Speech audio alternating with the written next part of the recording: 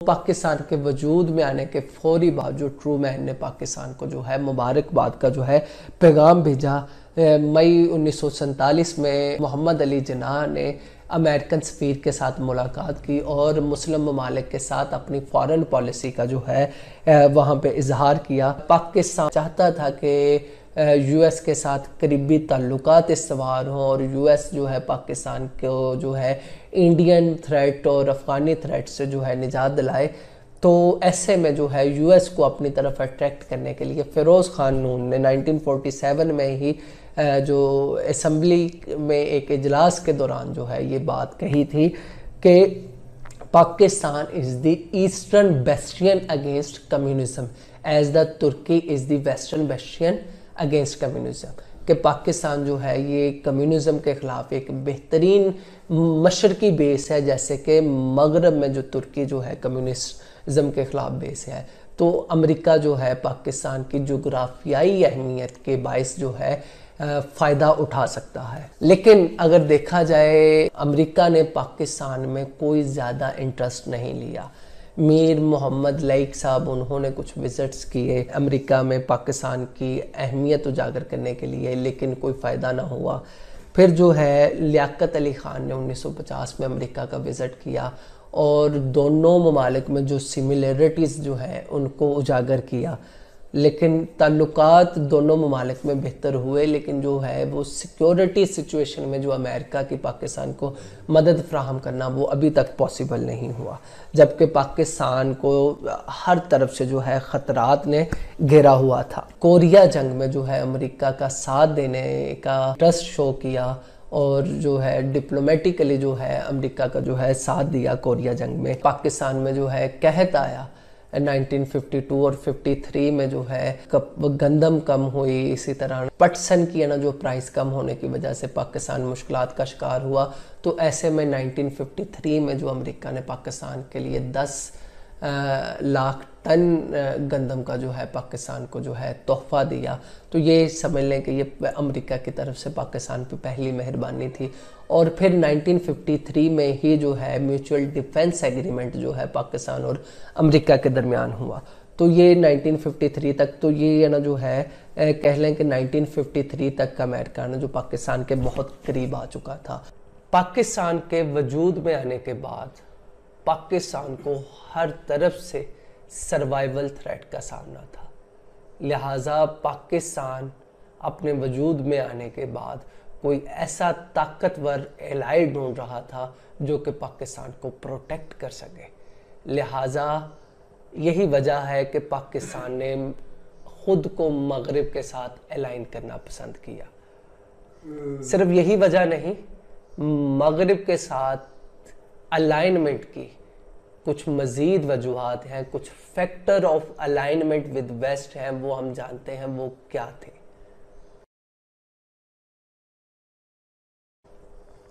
इसमें सबसे पहला फैक्टर फियर फैक्टर था।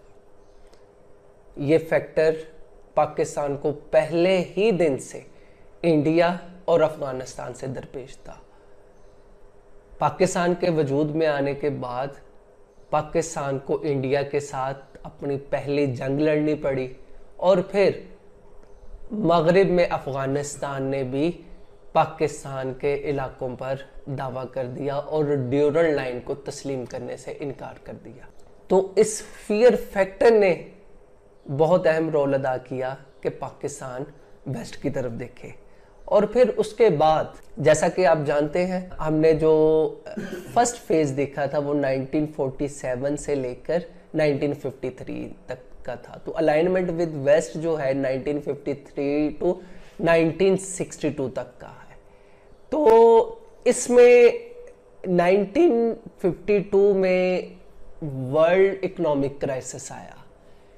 इसमें कॉटन वेट और जूट, जो कि पाकिस्तान की अहम एक्सपोर्ट आइटम थे, इनकी प्राइस कम हो गई। इसकी वजह से पाकिस्तान मुआशी मुश्किल का शिकार हुआ। इसके साथ साथ 1952 में कहत आया, जिसकी वजह से पाकिस्तान में गंदम कम हुई। तो ऐसे में अमेरिका पाकिस्तान की मदद के लिए पहुँचा और पाकिस्तान को गंदम का तोहफा दिया। तो ये इकोनॉमिक क्राइसिस भी बहुत अहम फैक्टर थे। जिसकी वजह से पाकिस्तान ने मगरब के साथ इलाइन किया। और फिर अहम बात सेंस ऑफ़ आइसोलेशन ये पाकिस्तान को बहुत फील हो रही थी। पाकिस्तान जो है, मुस्लिम ममालिक को लीड करने के लिए ये मुसलसल दावे करता रहा, लेकिन मुस्लिम वर्ल्ड ने पाकिस्तान को तनहा छोड़ दिया। वो तमाम ममालिक जो कि कम्युनिस्ट ब्लॉक में शामिल थे, उन्होंने पाकिस्तान को पीछे छोड़ दिया। पाकिस्तान के ख़िलाफ़ हो गए।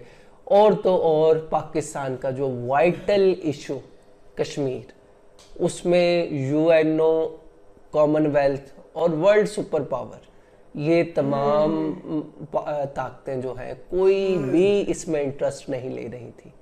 तो इस वजह से जो है पाकिस्तान फर्दर मुश्किल का शिकार हुआ।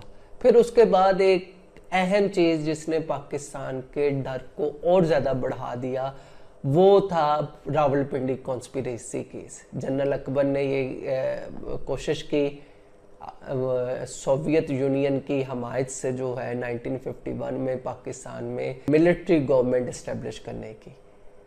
ये इसे रावलपिंडी कॉन्स्पिरसी केस कहते हैं। यूएसएसआर इसकी बैक पे था। लिहाजा यूएसएसआर के साथ कोई अलायंस हो, जितने भी वो अपॉर्चुनिटीज़ थी यूएसएसआर के साथ अलायंस की इस रावलपिंडी कॉन्स्पिरसी केस ने वो ख़त्म कर दी। लिहाजा पाकिस्तान को जो है यूएसएसआर की तरफ़ से भी ख़तरात दरपेश हुए फिर उसके बाद जो है एक बहुत अहम फैक्टर वो मिलिट्री एलीट का था। मिलिट्री एलीट समझती थी कि पाकिस्तान का वेस्ट के साथ अलायंस दो वजह से जो है अहम है। एक तो वेस्ट इकनॉमिकली बहुत ज़्यादा ताकतवर है और दूसरा मिलिट्री और टेक्नोलॉजी में बहुत ज़्यादा एडवांस है। लिहाजा पाकिस्तान की जो मिलिट्री एलीट भी यही चाहती थी कि वेस्ट के साथ अलायंस हो। वेस्ट के साथ अलायंस 1953 से लेकर 1962 तक रहा। इसमें जो है मुहिदे हुए, उनका मैं ज़िक्र करूँगा। उसमें सबसे पहला जो है एग्रीमेंट वो है म्यूचुअल डिफेंस असिस्टेंस एग्रीमेंट ये पाकिस्तान ने 1953 में दो म्यूचुअल डिफेंस असिस्टेंस एग्रीमेंट की है। पहला अप्रैल में तुर्की के साथ और फिर मई 1954 में यूएस के साथ। ये बाइलेटरल डिफेंस एग्रीमेंट था। इसके तहत यूएस जो है पाकिस्तान को ना सिर्फ़ मिलिट्री इक्विपमेंट फ्राहम करेगा बल्कि इसके साथ साथ पाकिस्तान की जो है मिलिट्री को ट्रेनिंग भी देगा और उसे जदीद खतूत में इस्तेमाल करेगा। तो यूएस के साथ जो है ये पहला म्यूचुअल डिफेंस असिस्टेंस एग्रीमेंट था, जो मई 1954 में साइन हुआ। इस एग्रीमेंट में ये बात वाजिया थी कि यूएस पाकिस्तान का जो है हर एक्सटर्नल एग्रेशन के खिलाफ जो है साथ देगा हर वो एग्रेशन जो कि कम्युनिस्टों की तरफ़ से हो कम्युनिस्ट ब्लॉक की तरफ़ से, इसके अलावा किसी और मुल्क के खिलाफ यूएस पाकिस्तान को मदद फ्राहम नहीं करेगा। उसके बाद जो नेक्स्ट एग्रीमेंट हुआ, वो था SEATO south east Asia treaty organization ये सितंबर 1954 में पाकिस्तान इस अलायंस का हिस्सा बना। ये एक मिलिट्री अलायंस था जो कि कम्युनिस्ट वर्ल्ड के खिलाफ जो है तश्कील दिया गया। इसे मनीला पैक्ट भी कहा जाता है। इसमें जो अहम ममालिक जो शामिल है, अगर हम देखें, क्योंकि ये कम्युनिस्ट ब्लॉक के खिलाफ तश्कील दिया गया था तो मशरक से देखें New Zealand Australia Philippines Thailand Pakistan France Britain and US ये तमाम इसके मेंबर्स थे। ये एक तरह का जो है यूएसएसआर को जो है उसके इर्द गिर्द एक आयरन कर्टन जो है, वो इस्टेब्लिश किया गया था कि इससे बाहर यूएस जो है यूएसएसआर जो है, निकल ना सके। इसमें भी वाजिया कर दिया गया कि भाई ये जो है डिफेंस, ये सिर्फ़ और सिर्फ़ जो कम्युनिस्ट ब्लॉक के अगेंस्ट है, ये अलायंस और इसमें जो है सोशल इकोनॉमिक और मिलिट्री एक्टिविटीज़ में ये तमाम ममालक एक दूसरे के साथ इंगेज रहे।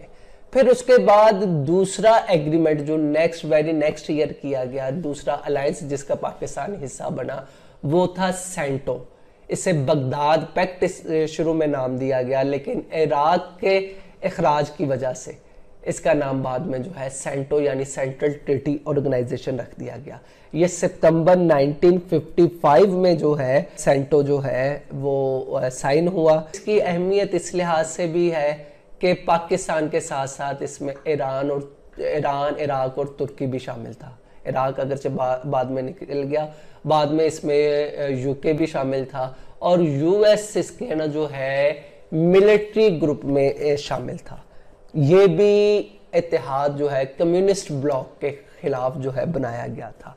अब ये दोनों सीटो और सेंटो इसके तहत जो है पाकिस्तान, जो दुनिया की एडवांस्ड तरीन कंट्रीज़ के साथ जो है मिल बैठा, उनके साथ जो है ट्रेनिंग ली, उनके लेटेस्ट वेपन्स को इस्तेमाल किया, पाकिस्तान मिलिट्री जो है वो आगे बढ़ी, उसने ना जो है लेटेस्ट टेक्नोलॉजी की हामिल बनी और उसमें ना जो है पहले से ज़्यादा जो है बेहतरी आई। यानी कि एक इलाकई सतह की फौज जो है इंटरनेशनल और एडवांस्ड तरीन मिलिट्रीज के साथ जो है ट्रेनिंग कर रही है, उनके साथ उठ बैठ रही है, उनके वेपन्स इस्तेमाल कर रही है, पाकिस्तानी आर्मी को भी वेपनाइज किया जा रहा है। तो ये समझ लें कि ये जो है 1954 और 55 का इरा जो है, पाकिस्तान आर्मी के लिए जो है, एक इनकलाब का पेश खेमा बना। यही वजह है कि पाकिस्तान आर्मी ने जो अपने मसल्स 1965 में दिखाए तो उनकी एक बुनियादी वजह ये थी कि पाकिस्तान ने जो है एडवांस्ड कंट्रीज़ के साथ जो है, ये मिलिट्री ट्रेनिंग्स की, उनके वेपन्स इस्तेमाल किए, उनकी जो है नई नई टेक्निक्स सीखी।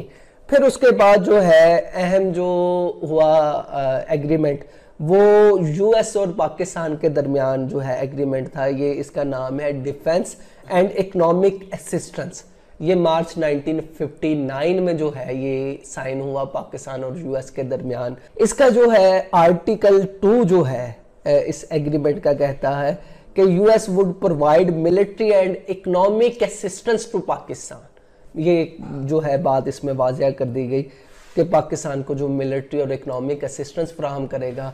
तो इस जमन में जो है, यूएस ने पाकिस्तान को 650 मिलियन डॉलर्स जो है वो ग्रांट दी और 55 मिलियन डॉलर का जो है लोन दिया, जिसकी वजह से पाकिस्तान की इकोनॉमी जो है वो बूस्ट की। और फिर इसके साथ साथ जो है मॉडर्न वेपन्स पाकिस्तान को दिए गए मिलिट्री इक्विपमेंट दिया गया।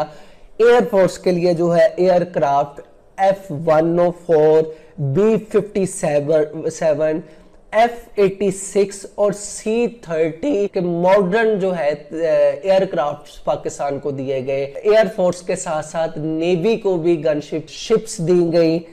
फिर वॉरशिप रेडार्स कम्युनिकेशन इक्विपमेंट ये सारी चीज़ें जो है, इसके तहत जो है पाकिस्तान को मिली। फिर इसी एग्रीमेंट में एक ग्रुप तश्कील दिया गया जिसका नाम था यूएस मैग यानी United States military assistance and advisory group. तो ये ग्रुप भी तश्कील दिया गया। अब इसके एवज जो है, यूएस ने जो है, पाकिस्तान की ज़मीन में अपने अड्डे कायम किए। पेशावर के करीब एक मुकाम है, बुडबीर का। वहाँ पे जो है, यूएस ने जो है, यूएसएसआर के खिलाफ एक खुफिया बेस बनाई। जिधर से यूएसएसआर की जो है, यूएस को वॉच करता था।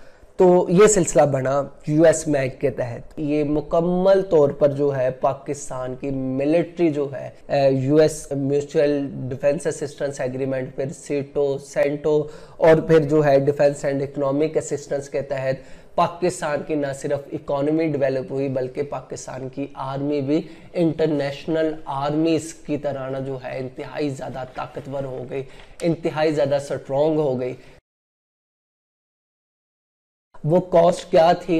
नंबर वन जो है, पाकिस्तान के इंडिपेंडेंट फॉरेन पॉलिसी जो है कॉम्प्रोमाइज हो गई। ये सबसे अहम कि अब आपने ज़ाहिर बात है फॉरेन पॉलिसी में जो कुछ भी करना है, वो यूएस और जो है वेस्ट की मर्ज़ी के बगैर नहीं कर सकते। तो पाकिस्तान की जो है फॉरेन पॉलिसी जो है कॉम्प्रोमाइज़ हो गई। फिर उसके बाद जो है, ये सबसे अहम बात पाकिस्तान का हमसाया मुल्क, दुनिया का दूसरा बड़ा ताकतवर मुल्क यूएसएसआर पाकिस्तान के खिलाफ हो गया।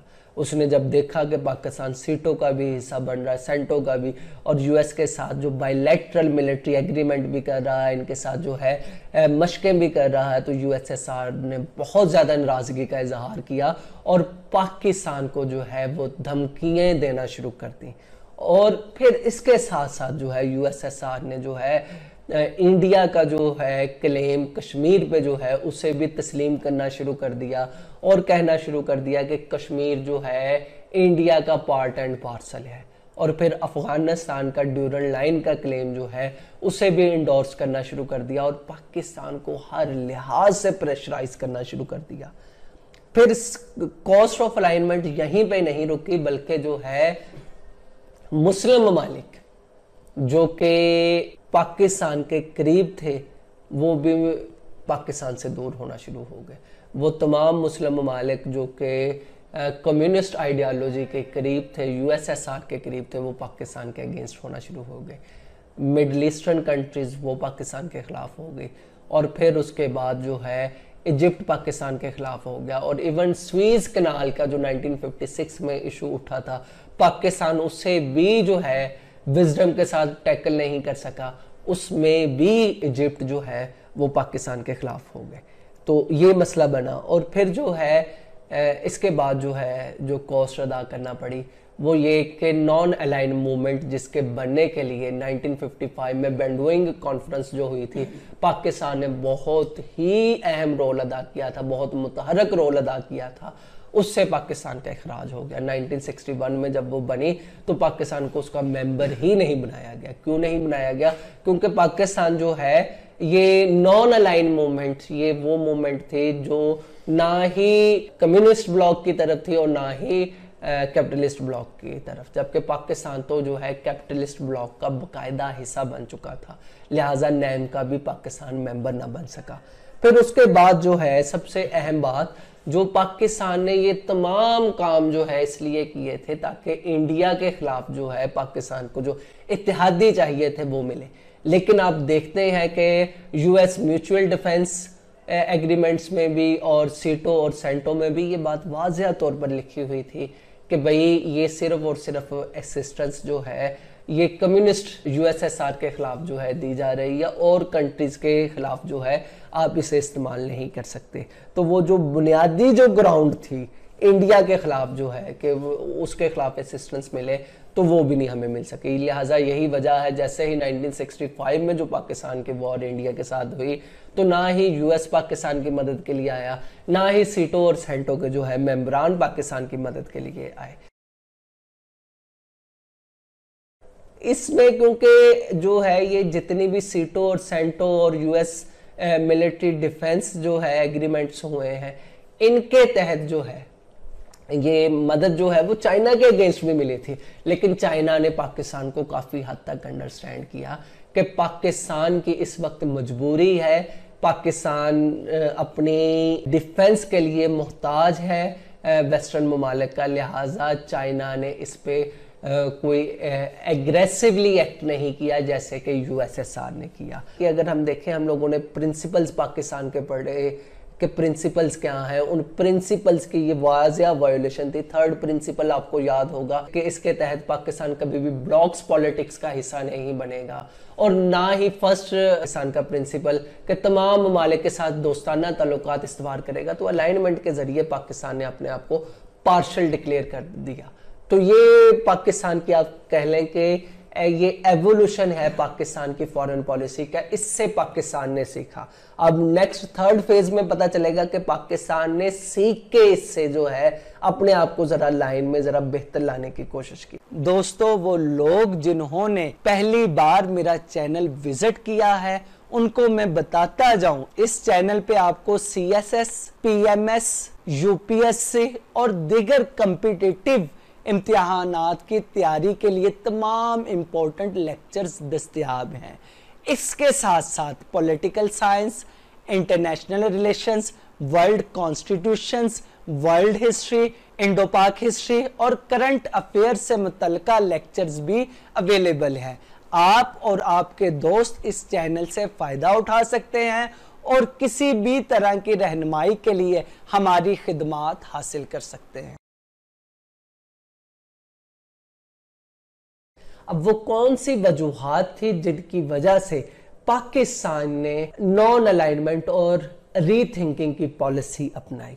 तो तीन बड़ी वजूहत हैं। उनमें पहली वजह यूएस ने पाकिस्तान में पुशावर के करीब बुडबीर के मुकाम पर जो खुफिया अड्डे बनाए थे, वहाँ से एक प्यारा यू टू उड़कर यूएसएसआर की जसूसी करता था। तो यूएसएसआर ने वो त्यारा ना सिर्फ़ गिरा दिया बल्कि पाकिस्तान को संगीन नतज की धमकी दी और कहा कि पाकिस्तान ये अड्डा ख़त्म करे। तो पाकिस्तान, जो कि इस धमकी की वजह से पाकिस्तान ने अपने आप को इनसिक्योर फील किया और पाकिस्तान को लगा, अगर यूएसएसआर ने पाकिस्तान पर अटैक कर दिया तो पाकिस्तान के पाकिस्तान मुश्किल में पड़ जाएगा। यही वजह है कि पाकिस्तान को जो है यूएस का अड्डा यहाँ से ख़त्म करना पड़ा। दूसरे नंबर पर आईसीबीएम यानी इंटर कॉन्टिनेंटल ब्लास्टिक मिसाइल की तैयारी इन मिसाइल्स की आमद की वजह से पाकिस्तान की वो इलाकाई अहमियत, जो कि यूएस की नज़र में थी, वो ख़त्म हो गई। और फिर अहम वजह बनी वो साइनो इंडियन वॉर थी, जो कि 1962 में हुई, और इस वॉर में तमाम वेस्ट ने इंडिया की खुलकर हमायत की। हालाँकि वेस्ट जो है पाकिस्तान का इलाय था और वेस्ट की इंडिया पे इतनी मेहरबानी है जो है, वो पाकिस्तान को जो है भली ना लगी और इस वजह से जो है पाकिस्तान के फॉरेन पॉलिसी मेकर्स ने जो है रीथिंक करना शुरू किया। सेल्फ डिपेंडेंसी का एरा है, जिसमें पाकिस्तान ने जो है अपनी फॉरेन पॉलिसी में जो है खुद एनहसारी के एक दौर का आगाज़ किया। जिसमें पाकिस्तान ने ना सिर्फ़ चीन और यूएसएसआर के साथ ताल्लुकात अपने बेहतर किए, बल्कि अमेरिका के साथ भी किए हुए मुहिदे जो है, कायम रखे। और खुद को न्यूट्रल रखने के लिए फर्दर कोई एग्रीमेंट्स वर्ल्ड पावर का उसमें शामिल ना हुआ। जैसा कि यूएसएसआर ने Asian collective security system develop किया, पाकिस्तान उसका हिस्सा नहीं बना। उस वक्त का अगर हम आलमी मंजरनामा देखें तो दुनिया थर्ड वर्ल्ड वॉर के खौफ में मुबतला थी, क्योंकि 1963 में क्यूबन मिसाइल क्राइसिस हुआ, जिसमें दुनिया थर्ड वर्ल्ड वॉर के करीब थी, लेकिन बेहतरीन डायलॉग्स और हॉट लाइन के जो है डेवलप होने की वजह से दुनिया थर्ड वर्ल्ड वॉर से बची। फिर आलमी मंजरनामे में अगर देखें अरब इसराइल वॉर 1965 में, वो हुई वो बहुत अहम है। इलाकई मंजरनामे में चाइना और इंडिया की वॉर जो है, वो वो बहुत अहमियत की हामिल किया। पाकिस्तान के अमेरिका के साथ ताल्लुकात इस दौर में कैसे रहे? पाकिस्तान और अमेरिका के ताल्लुकात इस दौर में इंतहाई ज़्यादा कशीदा रहे। और इनमें उतार चढ़ाव आता रहा। इसका आगाज़ 1962 साइनो इंडियन वॉर से हुआ, जिसमें अमेरिका ने इंडिया का खुलकर साथ दिया। तो पाकिस्तान ने इस अमेरिकन स्पोर्ट को इंडियन हक में इंतहाई ज़्यादा अपने लिए मुजर करार दिया। यही वजह है कि पाकिस्तान के जो है यूएस के साथ ताल्लुक जो है डिक्लाइन का शिकार होना शुरू हुए। इसके अलावा पाकिस्तान का चाइना और सोवियत यूनियन के साथ ताल्लुक अमरीका को एक आँख ना बाएका ने पाकिस्तान की खुलकर मुखालफत की। 1964 में पीआईए की परवाज को अमरीका ने आज़ाद दुनिया की यकजहती के खिलाफ करार दिया। फिर अमेरिका ने 1965 की जंग में पाकिस्तान का पाकिस्तान का साथ ना दिया, बल्कि पाकिस्तान के खिलाफ रहा और पाकिस्तान पे आर्म एम्बार्गो इम्पोज कर दिया। इसी तरह 1965 ही में, अप्रैल में अयूब खान का दौरा जो अमेरिका का था, वो भी मुलतवी हुआ। 1971 की वॉर में भी अमेरिका ने पाकिस्तान पर आर्म एम्बार्गो इम्पोज कर दिया। तो ये अगर हम दौर देखें, इसमें अमेरिका और पाकिस्तान के रिलेशंस इंतहाई ज़्यादा कशीदा रहे, इंतहाई ज़्यादा ख़राब रहे। पाकिस्तान की फॉरेन पॉलिसी का फोर्थ फ़ेज़ बायलैटरलिज्म हाजिर खिदमत है। ये फ़ेज़ 1972 से लेकर 1979 तक का है। जैसा कि आप जानते हैं कि पाकिस्तान की फॉरेन पॉलिसी के अहम तरीन प्रिंसिपल्स में तमाम ममालिक के साथ बेहतरीन ताल्लुक मुस्लिम ममालिक के साथ बरदराना ताल्लुक और वर्ल्ड ब्लॉक्स पॉलिटिक्स में किसी भी ब्लॉक का हिस्सा ना बनना, यानी अपनी फॉरेन पॉलिसी को इम्पार्शल रख। बदकिस्मती से पाकिस्तान का जोग्राफिया और पाकिस्तान के हमसाया ममालिक की दुश्मनी की वजह से पाकिस्तान को ब्लॉक पॉलिटिक्स का हिस्सा बनना पड़ा। लेकिन मौजूदा फ़ेज़ में पाकिस्तान ने ब्लॉक पॉलिटिक्स को खैर आबाद कहकर मुकम्मल तौर पर आज़ादाना फॉरेन पॉलिसी अपनाई। यही वजह है कि बायलैटरलिज्म को पाकिस्तान की फॉरेन पॉलिसी का आज़ाद तरीन दौर तस्वर किया जाता है। इस दौर में मुकम्मल तौर पर पाकिस्तान ने आज़ाद खारजा पॉलिसी अपनाई। वो तमाम एलिमेंट्स जो कि ज़ाहिर करते थे कि पाकिस्तान ब्लॉक पॉलिटिक्स के साथ एसोसिएट है, उनसे किनारा कशी की। जनवरी 1972 में पाकिस्तान ने कॉमनवेल्थ को खैराबाद कह दिया। नवंबर 1972 में पाकिस्तान ने सीटों को और सितंबर 1979 में सेंटो को खैराबाद कह दिया। यूँ पाकिस्तान वेस्टर्न अलाइनमेंट के जितने भी एलिमेंट्स हैं, उनसे छुटकारा हासिल कर लिया। फिर पाकिस्तान ने नॉर्थ वियतनाम को भी तस्लीम कर लिया, नॉर्थ कोरिया को भी तस्लीम कर लिया, और ईस्ट जर्मनी को भी तस्लीम कर लिया। और पाकिस्तान ने तमाम ममालिक के साथ बायलैटरल रिलेशंस का आगाज़ किया। युगोस्लाविया और रोमानिया के साथ तजारती और सफारती तल्लुक का आगाज़ किया। फिर एशिया, अफ्रीका, लैटिन अमेरिका और दुनिया के बहुत से ममालिक, जिनको पाकिस्तान ने ब्लॉक पॉलिटिक्स की वजह से नज़रअंदाज किया था, उनके साथ तजारती, दिफाई और सफारती तल्लुक का बाकायदा आगाज़ इसी दौर में हुआ। नॉन अलाइन मूवमेंट यानी नैम पाकिस्तान ने जिसको बनाने के लिए अहम तरीन किरदार अदा किया था 1976 में पहले इसका ऑब्जर्वर बना, फिर 1979 में इसका बाकायदा मेंबर बना। तो यूँ पाकिस्तान ने अपनी आज़ाद खारजा पॉलिसी का आगाज़, जो कि 1979 में होना चाहिए था 72 से ऑनवर्ड स्टार्ट किया। फिर उसके बाद पाकिस्तान और अमेरिका के ताल्लुक जारी बात है सेवेंटी वन की वॉर के बाद अमेरिका ने पाकिस्तान पर और इम्बोर्गो इम्पोज कर दिया था और काफ़ी हद तक दोनों के ताल्लुक कशीदा थे। लेकिन इस दौर में दोनों ममालिक के ताल्लुक बेहतर हुए। पाकिस्तान का सरबराह जुल्फ़ार अली भुट्टो ने 1973 और 1975 में अमेरिका का दौरा किया। 1973 में अमेरिका ने जुजवी तौर पर पाकिस्तान से पाबंदियाँ उठाईं और पाकिस्तान में फौजी साजो सामान और स्पेयर पार्ट्स पाकिस्तान को फ्राहम करना शुरू किया। फिर 1975 में मुकम्मल तौर पर पाबंदियाँ हटा ली और पाकिस्तान को असलहा फ्राहम करना शुरू किया। सिलसिला ये बना क्योंकि भारत एटमी धमाके कर चुका था। पाकिस्तान की इस्टेब्लिशमेंट पाकिस्तान की लीडरशिप ने भी ये मुसम्म इरादा किया कि पाकिस्तान एटमी टेक्नोलॉजी ज़रूर हासिल करेगा। तो इसके लिए पाकिस्तान ने तगदो करनी शुरू कर दी।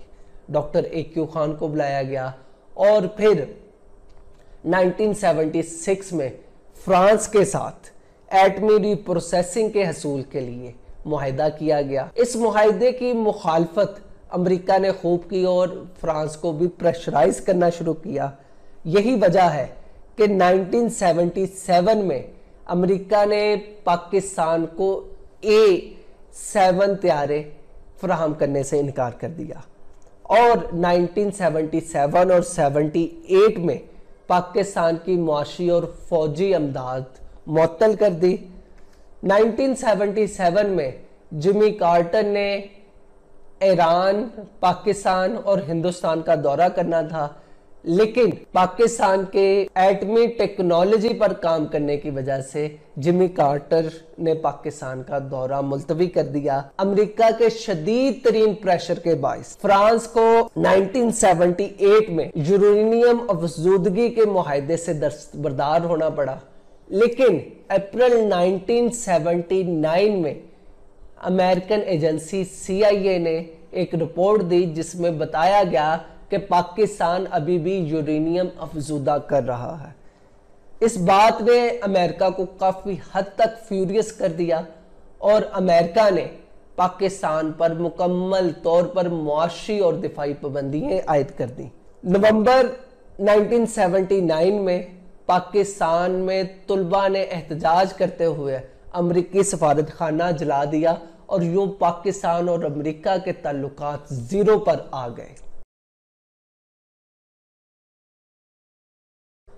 पाकिस्तान की फॉरेन पॉलिसी का ये फिफ्थ फ़ेज़ है। इस फ़ेज़ में पाकिस्तान की फॉरेन पॉलिसी का मरकजो महवर अफगान वॉर रहा है। यूएसएसआर का अफ़गानिस्तान पर हमला एक दुनिया के लिए चुंका देने वाला अमल था। अगर आप यूएसएसआर के उस वक्त के जोग्राफिए पे नज़र डालें तो आपको सोवियत यूनियन की अफ़गानिस्तान पर हमले की वजूहत समझ में आती है। उस वक्त का सोवियत यूनियन दुनिया के तकरीबन आधे खुशकी के रकबे पर वाक़ लेकिन दुनिया का रकबे के लिहाज से सबसे बड़ा मुल्क होने के बावजूद सोवियत यूनियन के पास कोई भी ऐसी बंदरगाह नहीं थी, जो के साल में 12 महीने जो है ऑपरेशनल रहे। सोवियत यूनियन के मशरक में पैसिफिक ओशन था, जो तकरीबन साल के आठ से दस महीने मुंजमद रहता था। इसी तरह नॉर्थ और वेस्ट वाली साइड पर आर्किटिक ओशन था, जो तकरीबन सारा साल मुंजमद रहता था। मिड में ब्लैक सी था। ब्लैक सी से जो उस वक्त के यूएसएसआर की ट्रेड तुर्की से आबनाए बासफोरस से गुजरकर मेडिट्रेनियन सी में जाती थी और उसके बाद तमाम दुनिया के साथ ताल्लुक कायम होता था। तो ये रास्ता अगरचे यूएसएसआर के लिए लिमिटेड सतह पे मौजूद था, लेकिन इसमें ख़तरात भी बहुत ज़्यादा थे और इसमें यूएसएसआर की ज़रूरत भी पूरी नहीं होती थी। अब फोर्थ ऑप्शन यूएसएसआर के लिए, के पास ये था कि अफ़गानिस्तान पर हमला करने के बाद पाकिस्तान का सूबा बलूचिस्तान पर हमला करके उसे सोवियत यूनियन में मर्ज कर दिया जाए और इस तरह गर्म पानियों तक रसाई हासिल कर ली जाए, वो गर्म पानी जो कि साल के 12 महीने ऑपरेशनल रहता है। यूँ यूएसएसआर ने इस मकसद के हसूल के लिए 27 दिसंबर 1979 में अफ़गानिस्तान पर हमला कर दिया। पाकिस्तान ने इस हमले को इंतहाई ज़्यादा तशवीश की निगाह से देखा। सरहद और बलोचिस्तान के लोगों ने सोवियत यूनियन के इनखला का मुतालबा किया और पाकिस्तान ने आज़ाद दुनिया की खुद मुख्तारी पर हमले से इसको तशबी दी। सोवियत यूनियन के हमले के एक साल बाद पाकिस्तान में तकरीबन 30 लाख अफगान महाजरीन की आमद। यो पाकिस्तान मुश्किल का शिकार हो गया। इसके साथ साथ पाकिस्तान को इस बात का भी अंदाज़ा था कि अफ़गानिस्तान पर कब्ज़ा मुकम्मल करने के बाद सोवियत यूनियन पाकिस्तान पर हमला करेगा। लिहाजा पाकिस्तान ने पाकिस्तान से ही रहते हुए अफगान जंग को ऑपरेट करने का मुसम्म इरादा कर लिया। इसी दौरान पाकिस्तान और अमेरिका के ताल्लुकात, जो कि इंतहाई ज़्यादा कशीदा थे, लेकिन सोवियत यूनियन का अफ़गानिस्तान पर हमले के बाद ये ताल्लुक नॉर्मल हो गए। जिमी कार्टर जो उस वक्त अमेरिका का प्रेसिडेंट था, उसने पाकिस्तान को 400 मिलियन डॉलर की अमदाद की पेशकश की, जिसे सदर जियाउल हक ने मूंगफली के चंद दाने कर ठुकरा दिया। सदर जियाउल हक का ये तंज इसलिए था क्योंकि अमेरिका का सदर मूंगफली का कारोबार करता था। और पाकिस्तान के लिए ये अमदाद बहुत हद तक नाकाफ़ी थी।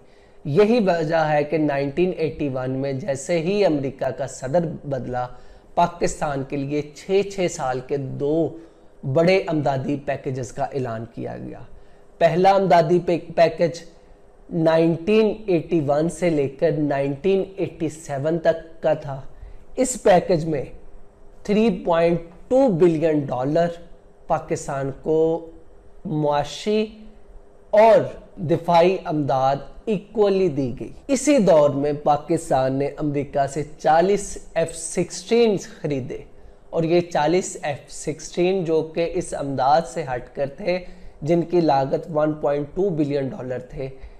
पाकिस्तान ने इनमें कुछ पैसे तो खुद इनका इंतज़ाम किया और कुछ का इंतज़ाम जो है बरदर इस्लामी ममालिक की अमदाद के ज़रिए किया गया। दूसरा छः साल अमदादी पैकेज, जो कि 1987 से 1993 तक का था, इसमें 4.2 बिलियन डॉलर की अमदाद का ऐलान किया गया, जिसमें 2.28 बिलियन डॉलर मीशत की बेहतरी के लिए रखा गया और 1.74 बिलियन डॉलर पाकिस्तान के दिफा के लिए रखा गया। जो पाकिस्तान को दिफाई और मुआशी लिहाज से मज़बूत भी बनाया गया और पाकिस्तान को बतौर प्रॉक्सी यूएसएसआर के अगेंस्ट इस्तेमाल किया गया।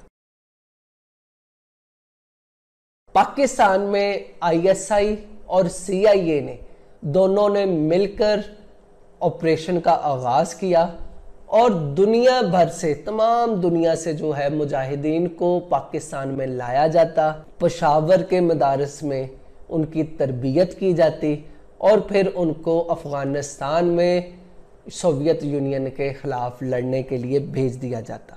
जो इन मुजाहिदीन ने कमो बेश छः से सात साल तक सोवियत यूनियन की फ़ौजों पर ताबड़तोड़ हमले किए और उन पर उनको पूरे अफ़गानिस्तान पर कब्ज़ा करने से कासर रखा। इन तमाम हमलों में सोवियत यूनियन का पल्ला फिर भी भारी था। उसकी वजह उनके एयर अटैक्स थे। तो ऐसे में अमेरिका ने अफगान मुजाहिदीन को स्टिंगर मिसाइल दिए, जिनकी वजह से सोवियत यूनियन की एयर स्ट्राइक काफ़ी हद तक नाकाम हो गई। और स्टिंगर मिसाइल के ज़रिए सोवियत यूनियन के हेलीकॉप्टर और लड़ाका त्यारे मार गिराए गए। ये अफगान वॉर का सिनेरियो था। अफ़गानिस्तान के मसले को हल करने के लिए जिनेवा अकॉर्ड जो कि अप्रैल 1988 को हुआ। यूएनओ ने इब्तदा से ही कोशिश करना शुरू कर दी थी कि अफ़गानिस्तान से सोवियत यूनियन की अफवाज इनखला करे और अफ़गानिस्तान दोबारा पुरअमन मुल्क बने। इस एक कोड के लिए चार अहम तरीन पॉइंट्स जेर बहस थे। एक ये कि सोवियत यूनियन की फ़ौज का मुकम्मल तौर पर इनखला हो। दूसरा ये कि आइंदा कोई भी मुल्क अफ़गानिस्तान में मुदाखलत ना करे। यानी अदम मुदाखलत की पॉलिसी जो है अफ़गानिस्तान पर हो। फिर उसके बाद ये माहदे जो हैं, इनके ज़मानत के लिए बैन अवी इदारों की जो है ज़मानत ली जाए और फोर्थ पे अफ़गान महाजरीन की वापसी को यकीनी बनाया जाए। तो यही वजह है कि ये माहिदा चार ममालिक के दरमियान साइन हुआ, जनेवा के मुकाम पर साइन हुआ पाकिस्तान, अफ़गानिस्तान, सोवियत यूनियन और अमेरिका के दरमियान ये माहिदा साइन हो। ये माहिदा साइन हुआ और इसके मुताबिक 15 मई 1988 को सोवियत यूनियन की फ़ौज का इनखला होना था। लेकिन इस इनखला के दौरान ही मुजाहिदीन ने सोवियत फ़ौज पर हमला कर दिया और सोवियत फ़ौज को इंतहाई ज़्यादा नुकसान पहुँचाया। सोवियत यूनियन ने इल्ज़ाम लगाया कि यह हमला पाकिस्तान ने करवाया है। लिहाजा पाकिस्तान पर एयर स्ट्राइक की गई। 15 फरवरी 1989 में सोवियत यूनियन की मुकम्मल अफवाज का इनखला हो गया। इस इनखला के बाद भी मसाइल जो है कम ना हुए, बल्कि पाकिस्तान के लिए जो है मसाइल बढ़ गए। इनखला हुआ, सोवियत यूनियन वापस चला गया और अमेरिका भी पाकिस्तान को तनहा छोड़कर वापस चला गया, जबकि इस दौरान अफ़गानिस्तान में सिविल वॉर का आगाज़ हो गया। जनेवा एकॉर्ड में पाकिस्तान की तरफ़ से ये शर्त शामिल करने पर बार बार इसरार किया गया कि इनखला से पहले अफ़गानिस्तान में प्रो मुजाहिदीन हुकूमत इस्टेब्लिश की जाए। लेकिन ऐसा नहीं किया गया, जिसकी वजह से सोवियत यूनियन के इनखला के फौरी बाद अफ़गानिस्तान में सिविल वॉर का आगाज़ हो गया। और ये सिविल वॉर पाकिस्तान के लिए इंतहाई ज़्यादा नुकसानदेह साबित हुई। इसकी मिसाल ऐसे ही है, जैसे आपके पड़ोस में आग लगी है और जाहरी बात है उस आग का नुकसान जो है आपको भी पहुंचेगा। फिर दूसरी बड़ी वजह, जो कि जनेवा एकॉर्ड में कहा गया कि महाजरीन की जो है वापसी को यकीनी बनाया जाए, अब सिविल वॉर लग गई जिसकी वजह से ये तीस लाख महाजरीन फर्दर पाकिस्तान में ठहरे और पाकिस्तान को इनकी मेहमान नवाजी करना पड़ी। और आज तक तकरीबन 40 लाख से जायद महाजरीन की पाकिस्तान मेहमान नवाजी कर रहा है। ये दुनिया के सबसे बड़े महाजरीन का ग्रुप है और जो तकरीबन कमोबेश 30 से 40 साल के अरसे तक पाकिस्तान में मुकीम पजीर है। मसाइब अभी ख़त्म नहीं हुए बल्कि पाकिस्तान का सबसे बड़ा इतिहादी अमेरिका ने भी पाकिस्तान से नज़रें मोड़ ली।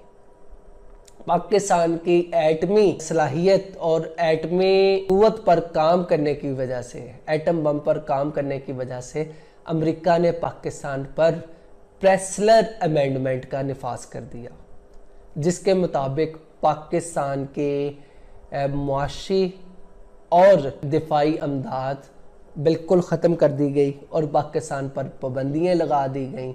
और इस अरसे के दौरान पाकिस्तान और अमेरिका के दरमियान जो भी फ़ौजी तरबियत, फ़ौजी ट्रेनिंग हो रही थी, उसे भी ख़त्म कर दिया गया। और वो तमाम फ़ौजी जो कि अमेरिका में तरबियत हासिल कर रहे थे, उनको भी वापस भेज दिया गया।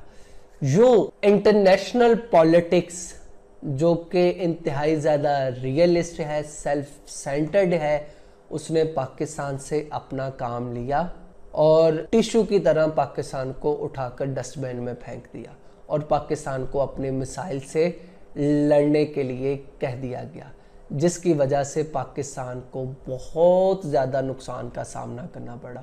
अगर इसी दौर में अमेरिका और सोवियत यूनियन इन तमाम मसाइल को हल कर लेते तो 9/11 का वाक़ ना होता, अमेरिका को कभी भी यहाँ पर आकर जंग ना करनी पड़ती।